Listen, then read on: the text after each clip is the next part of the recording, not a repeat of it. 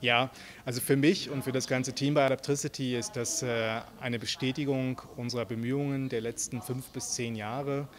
Ähm, wir hatten es ja schon angesprochen, vor zehn Jahren mussten wir, wenn, wenn, wir mit Netzbetreibern geredet haben, noch sehr viel darüber sprechen, ob es überhaupt Digitalisierung braucht, ob weitergehende Netzanalysen nötig sind.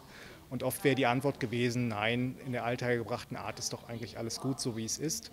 Mittlerweile reden wir bei Digitalisierung im Stromnetz eigentlich nur noch darüber, wann wir anfangen und was wir genau als erstes machen. Aber die Frage, ob Digitalisierung Sinn macht und äh, Wert stiftet, die stellt sich nicht mehr. Und da bin ich sehr froh, dass wir da diesen Weg weitergegangen sind und die Industrie ein Stück weit äh, innovativer gemacht haben. Und ich sehe daher diesen Preis als große Bestätigung unserer Bemühungen.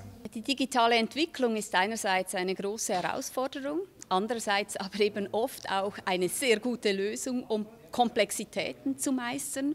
Und gerade im Bereich der Netze sehen wir, dass wir mit digitalen Lösungen die Datenverarbeitung vorantreiben können und zu effizienten Lösungen hintreiben können. Und da zeigt dieses Projekt wunderbar, was eben möglich ist, wurde, was möglich wurde und immer mehr auch äh, nutzbar gemacht werden muss, damit wir den Ausgleich und das Management der Netze eben positiv realisieren können. Diesen Beitrag ähm, finde ich sehr wichtig und darum habe ich mich enorm gefreut, dass auch dieses Projekt zu den Gewinnerinnen und Gewinnern gehörte.